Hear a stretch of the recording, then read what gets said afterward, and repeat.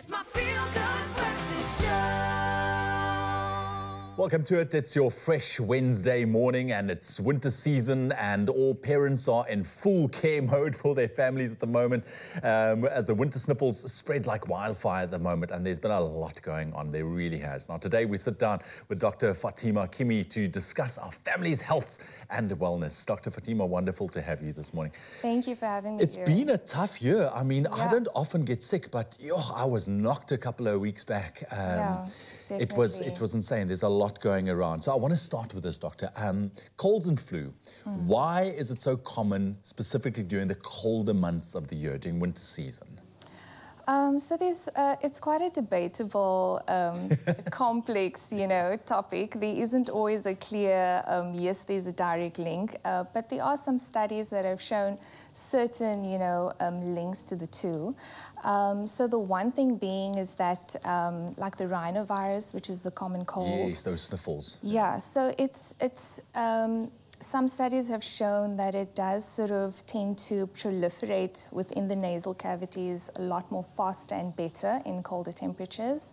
Um, and also, it's said that you know, with cold air, the air is a lot drier, so the, you know the infection can sort of go into the respiratory tract a lot more faster.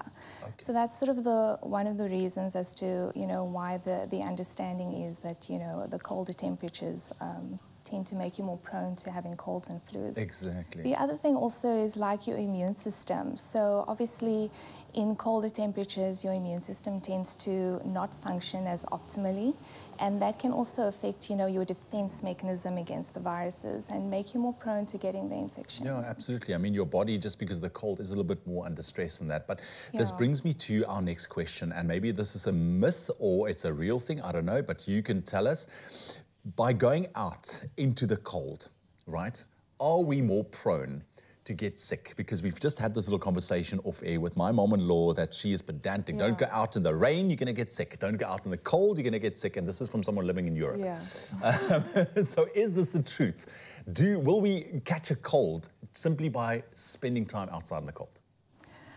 I think if you're keeping warm outside in the cold, you know, you're wearing appropriate layers of clothing and you're keeping your body temperature at a, you know, an optimal temperature, then I do think your immune system should be, you know, apt to sort of deal with any potential acquiring a virus. But like I said, there are those other uh, Factors. factors, you know, about the dry air and, you know, certain viruses maybe are more active, you know, in colder temperatures than others. Exactly. So, yeah.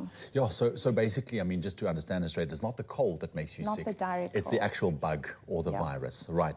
Now, now we're talking about when you are in that unfortunate position where you catch a cold or a bit of a flu bug. Yeah. It's normally associated with coughs and phlegms. Uh, yeah. Why does it take long for these symptoms to subside? Because we all know when you get that chesty cough, Yeah. It takes a couple of weeks actually to really hmm. clear out. Yeah. So we do call that a post-infectious cough. Um, so once the infection is cleared, the inflammatory aspect secondary to the infection is still there. So you have the inflammation in your respiratory tract, and that takes a while. Depending on the organism that you acquired, it can take about two to four to eight weeks to actually resolve.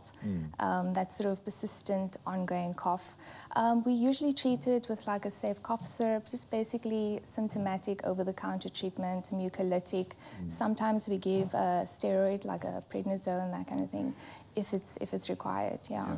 Um, and also, of course, to help loosening that treatment, like you said, it's, it's, it's actually vital when it, be- when it crosses that certain line, you Yeah. have to look at medication um, that also hopefully doesn't contain any tartrazine because that is, that is something that I think people should try and avoid. Yeah.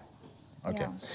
How do we go about keeping our immune systems healthy? We want to make sure that we're healthy. I know that we are still kind of in the thick of winter. We just said heard the temperatures this morning. It's going to be snowing in certain parts of the country. Yeah. It's very very cold out there. Mm. What's your tips for improving and kind of just helping our immune systems cope a bit? I think probably just looking at overall um, boosting of the immune system. So there can be a lot of things, but a lot of the things we all know, you know, making sure you have a good number of hours of sleep, you know, six to eight hours for adults, good quality sleep, making sure that you have a well-balanced, nutritious diet, and that you, you do have sort of natural probiotics as part of your diet. So fermented foods, or specifically for us, yogurt, you know, that's rich in cultures. Yes. And then obviously obviously, adequate uh, water intake as well.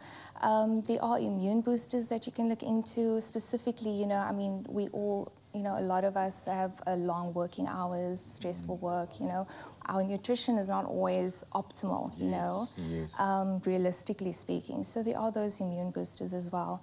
And one of the things I'm quite an advocate for the annual flu vaccine. So if you do get the vaccine just before winter starts, Yeah. that definitely helps. You know, it equips you. So you know you've got you're basically armoring your immune cells. Yeah, exactly. Because I mean, obviously, with that injection, you want the, your body to build up that response. So Yeah. getting it now, A little bit too late. a little bit yeah. too late. Dr. Fatima, thank you very much. Wonderful to have you on the Pleasure. couch this Thank morning. you for Thanks for having me. sharing those tips. And like you rightly said, I think two things hit home: sleep.